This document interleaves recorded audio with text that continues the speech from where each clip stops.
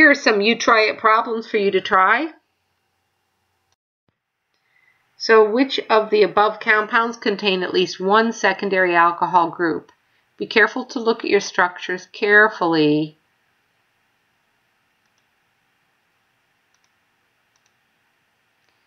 Notice that this is a secondary alcohol. There's only two carbons on this, uh, uh, this carbon that is holding the oxygen group.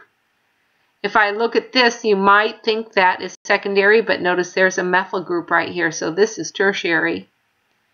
This group is also tertiary. This group is also uh, tertiary, but this alcohol right here, this one is secondary. This is a primary alcohol. So the only groups that we have that have a secondary alcohol is 1, and 4.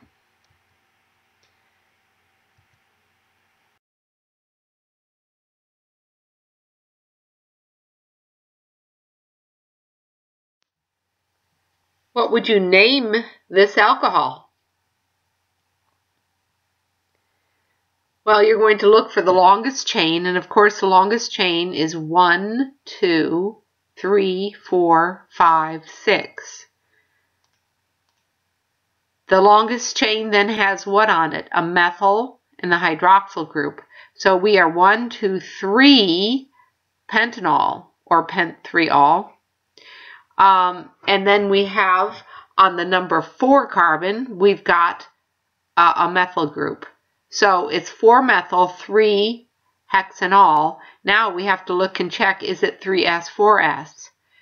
If I look at the number 3 carbon, the hydrogen is back. So if I look at the highest priority group, it's going to be oxygen, then this alkyl group here, and then over here to the ethyl group. So that is S. What about number 4 carbon? The hydrogen is back. The highest priority group has the alcohol on it, and then the ethyl. One, two, three, that also is S. So the correct name is number 4.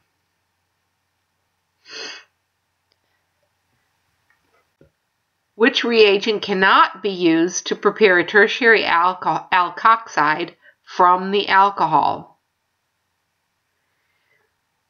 Okay, to prepare a tertiary alkoxide, and the reason it says stoichiomet stoichiometrically is that you don't want an equilibrium occurring, and an equilibrium would be occurring with sodium hydroxide it cannot be used to prepare an alkoxide. So what can I use to do this? Well, sodium hydride does it, potassium does it, sodium amide does it, and methyl magnesium bromide will. The only one that will not do it will only do it with an equilibrium type thing, in which is uh, heavily fa favoring the alcohol, is sodium hydroxide.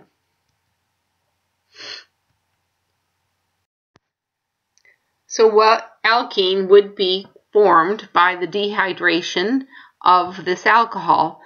The dehydrating agent shown here is phosphorus oxychloride, and it is just an, an excellent dehydrating agent um, that does it without any rearrangements. Go ahead and try to figure out which uh, alkene would be formed. if I look at the options given, I'm going to have to have a um, pentene that has a methyl on it. So there are six carbons altogether. This has six carbons, but you don't have a pentene in there. It's actually a butene. This has six carbons, and there is a pentene, so it's a possibility. This is a pentene also. Well, it's it is a pentene, with a methyl on it. This is a pentene with a methyl on it, and this is a pentene with a methyl on it. So the only one that we can discard with regards to the carbon skeleton is this one.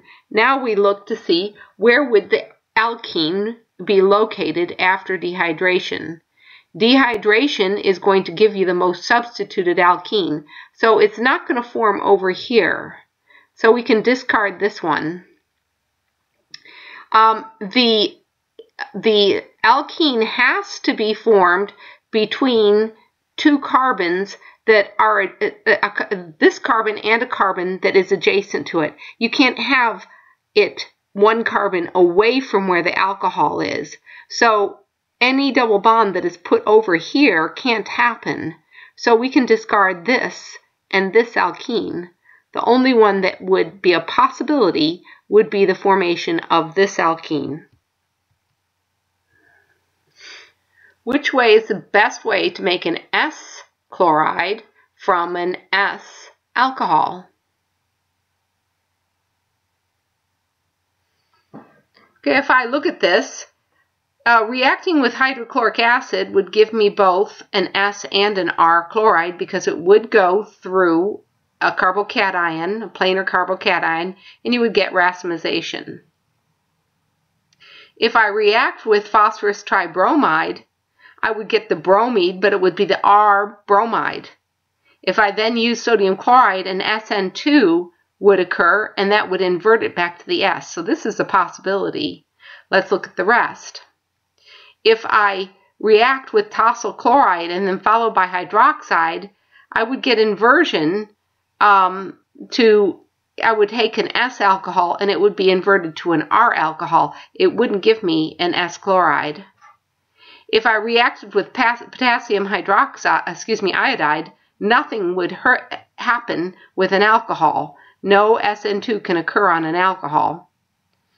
If I reacted it with thionyl chloride, what would you get? You would get the R chloride, not the S chloride.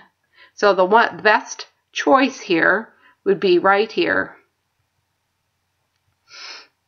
One is an SN1, 5 is only one SN2, 4 wouldn't react with an alcohol, 3 would give you an alcohol as a product, so the only one that is the correct one would be phosphorus tribromide followed by sodium chloride. Which is the correct order of acidity, starting with the least acidic for the following phenols. Now remember, in order to consider acidity, we look at the electron withdrawing groups. That's what changes here. So consider that electron withdrawing groups pull electrons away from the oxygen, making it more stable. So try to figure out which would be the most acidic groups. Okay, if I look at number C, that's amino group, it has a non-bonding pair on it. It actually pushes electrons uh, toward the oxygen. We consider uh, amino groups to be electron donating. So this one actually is pushing electrons onto the oxygen, making it destabilized. So this would be the least acidic. So either 3 or 4 will be the correct answer. And then I see the nitro group, which somewhere back in one of those online lectures, I've told you that nitro groups are the most electron withdrawing. So I see that A is written here as being greatest of electronegativity, I mean greatest of acidity. So just by looking at those two groups, I can say 3 is the correct answer.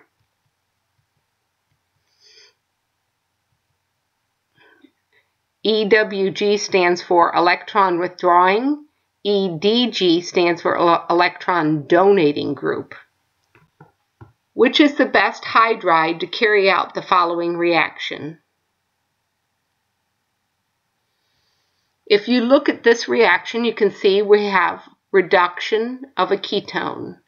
We've learned in, this, these lectures that sodium borohydride will reduce ketones. So which do we choose? We choose the sodium borohydride to do that reduction. Sodium hydride is just a strong base. It does not reduce anything. Borane is a reducing agent, but it reduces only alkenes. Hydrogen is a reducing agent, but you have to have a catalyst to, for it to reduce anything. The correct answer is sodium borohydride. Would lithium aluminum hydride work? Well, what does lithium aluminum hydride do? It will reduce a ketone down to a secondary alcohol, but it also will take this ester and reduce it down to an alcohol. And what you would get over here would be an alcohol group here, and this would be gone and an alcohol group here. So no, lithium aluminum hydride would not work because it would reduce everything, including the ester. What is the major elimination product formed from this reaction? Well, this is a dehydrating reagent, so what's going to happen is it's going to, going to remove water. If I look at the structure of what will form, it will be 1, 2, 3, 4, 5, 6. It will be a hexene. Where will the hexene be? The ene will be on the 2 carbon, and then there would be a 3 uh, methyl. So which is the correct answer? The correct answer is going to be 3-methyl-2-hexene. When phenol is treated with Fremy's salt, which is an oxidizing agent, and then it's followed by tin, 2-chloride, and water, which is a reducing agent, it makes a compound. What compound do you think it will make? Well, if you remember back when we were, I was telling you about the quinones, uh, we saw that phenol could be oxidized to quinones, and so that is this thing right here, this quinone right here. But quinone, that quinone then would be reduced. What did we see in with the uh, biological quinones?